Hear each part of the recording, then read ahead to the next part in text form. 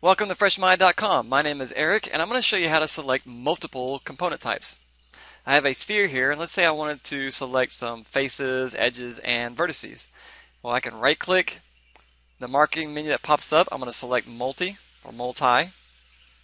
And now I can just go in here and select faces. I can select edges. And I can select vertices. So pretty much wherever I put my cursor, whatever component type is where my cursor is, that's what I can select. So if I put it on a face, you can see the face highlights. If I put it on an edge, the edge highlights. If I put it where a vertex is, the vertex highlights. And it's as simple as that. That concludes this tutorial. Thanks for watching.